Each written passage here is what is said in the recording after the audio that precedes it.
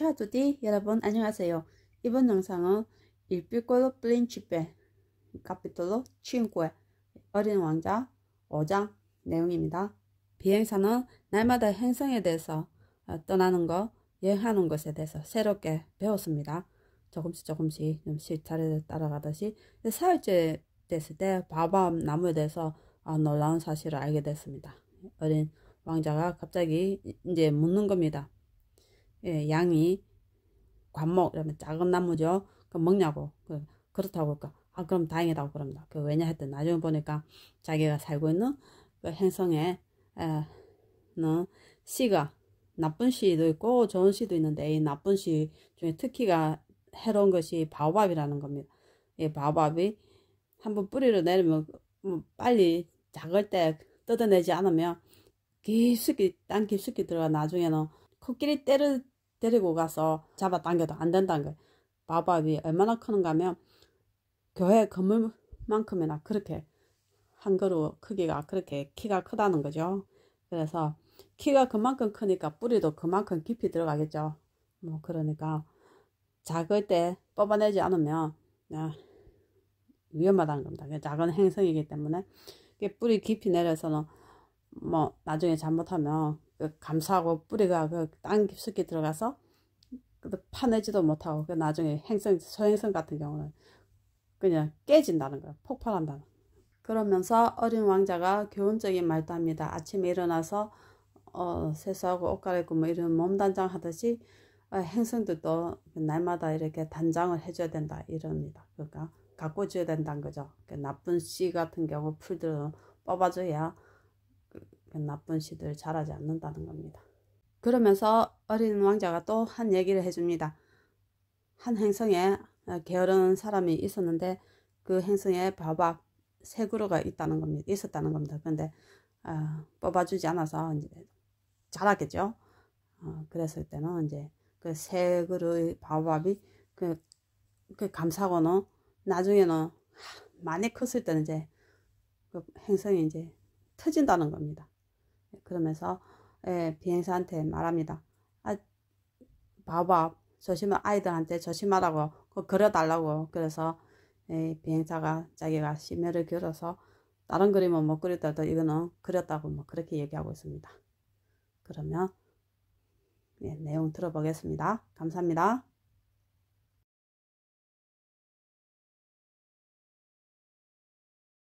5.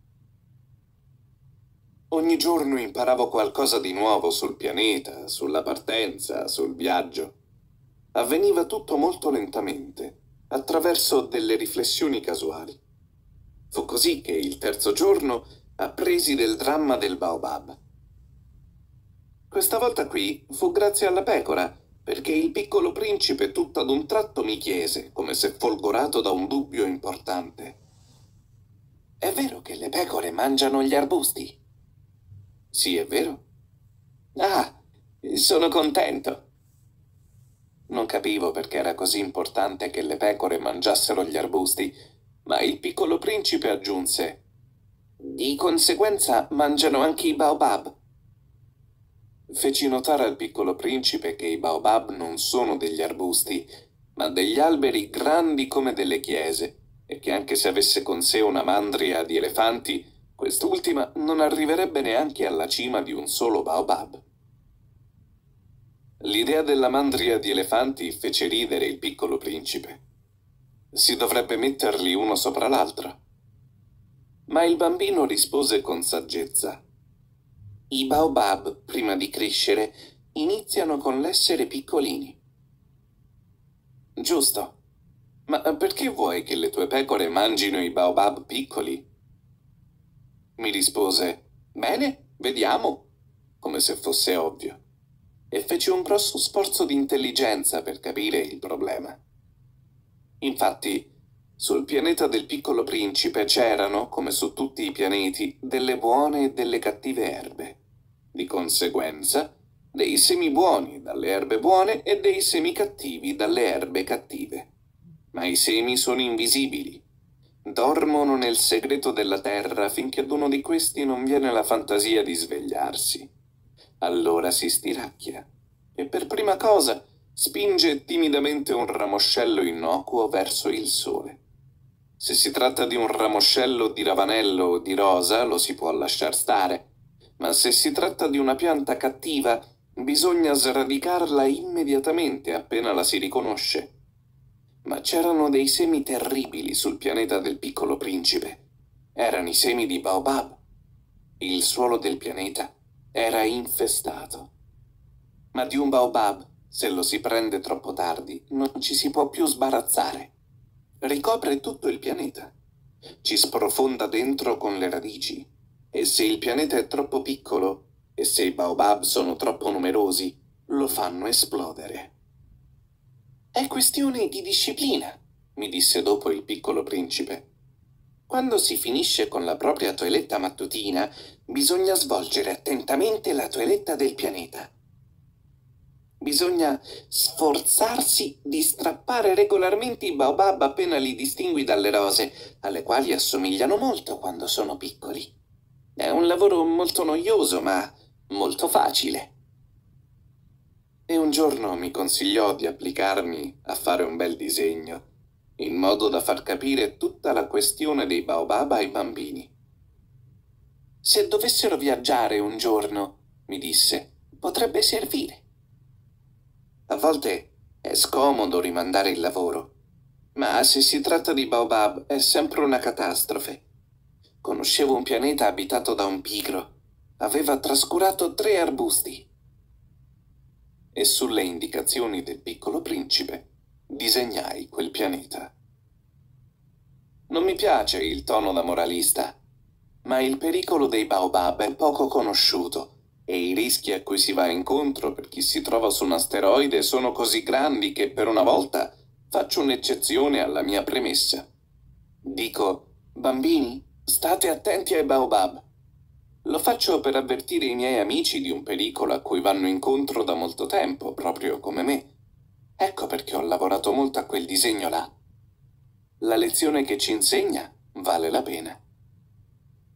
Forse vi chiederete perché non ci sono in questo libro altri disegni così grandiosi come il disegno dei Baobab? La risposta è molto semplice. Ci ho provato, ma non ci sono più riuscito. Quando ho disegnato i Baobab, ero spinto da un sentimento di urgenza. 5. Ogni giorno imparavo qualcosa di nuovo sul pianeta, sulla partenza, sul viaggio. Avveniva tutto molto lentamente, attraverso delle riflessioni casuali. Fu così che il terzo giorno appresi del dramma del Baobab. Questa volta qui fu grazie alla pecora, perché il piccolo principe tutto ad un tratto mi chiese, come se folgorato da un dubbio importante. È vero che le pecore mangiano gli arbusti? Sì, è vero. Ah, sono contento. Non capivo perché era così importante che le pecore mangiassero gli arbusti, ma il piccolo principe aggiunse Di conseguenza mangiano anche i baobab. Feci notare al piccolo principe che i baobab non sono degli arbusti, ma degli alberi grandi come delle chiese, e che anche se avesse con sé una mandria di elefanti, Quest'ultima non arriverebbe neanche alla cima di un solo baobab. L'idea della mandria di elefanti fece ridere il piccolo principe. Si dovrebbe metterli uno sopra l'altro. Ma il bambino rispose con saggezza. I baobab, prima di crescere, iniziano con l'essere piccolini. Giusto. Ma perché vuoi che le tue pecore mangino i baobab piccoli? Mi rispose, bene, vediamo, come se fosse ovvio, e fece un grosso sforzo di intelligenza per capire il problema. Infatti, sul pianeta del piccolo principe c'erano, come su tutti i pianeti, delle buone e delle cattive erbe. Di conseguenza, dei semi buoni dalle erbe buone e dei semi cattivi dalle erbe cattive. Ma i semi sono invisibili Dormono nel segreto della terra finché ad uno di questi non viene la fantasia di svegliarsi. Allora si stiracchia e per prima cosa spinge timidamente un ramoscello innocuo verso il sole. Se si tratta di un ramoscello di ravanello o di rosa, lo si può lasciar stare, ma se si tratta di una pianta cattiva, bisogna sradicarla immediatamente appena la si riconosce. Ma c'erano dei semi terribili sul pianeta del piccolo principe. Erano i semi di Baobab. Il suolo del pianeta era infestato. Ma di un Baobab, se lo si prende troppo tardi, non ci si può più sbarazzare. Ricopre tutto il pianeta. Ci sprofonda dentro con le radici. E se il pianeta è troppo piccolo, e se i Baobab sono troppo numerosi, lo fanno esplodere. È questione di disciplina, mi disse dopo il piccolo principe. Quando si finisce con la propria toeletta mattutina, bisogna svolgere attentamente la toeletta del pianeta. Bisogna sforzarsi di strappare regolarmente i baobab appena li distingui dalle rose, alle quali assomigliano molto quando sono piccoli. È un lavoro molto noioso, ma molto facile e un giorno mi consigliò di applicarmi a fare un bel disegno, in modo da far capire tutta la questione dei baobab ai bambini. Se dovessero viaggiare un giorno, mi disse, potrebbe servire. A volte è scomodo rimandare il lavoro, ma se si tratta di baobab è sempre una catastrofe. Conoscevo un pianeta abitato da un pigro. Aveva trascurato tre arbusti e sulle indicazioni del piccolo principe disegnai quel pianeta. Non mi piace il tono da moralista, ma il pericolo dei baobab è poco conosciuto e i rischi a cui si va incontro per chi si trova su un asteroide sono così grandi che per una volta faccio un'eccezione alla mia premessa. Dico, bambini, state attenti ai baobab. Lo faccio per avvertire i miei amici di un pericolo a cui vanno incontro da molto tempo, proprio come me. Ecco perché ho lavorato molto a quel disegno là. La lezione che ci insegna vale la pena. Forse vi chiederete perché non ci sono in questo libro altri disegni così grandiosi come il disegno dei baobab? La risposta è molto semplice. Ci ho provato, ma non ci sono più riuscito. Quando ho disegnato i baobab, ero spinto da un sentimento di urgenza.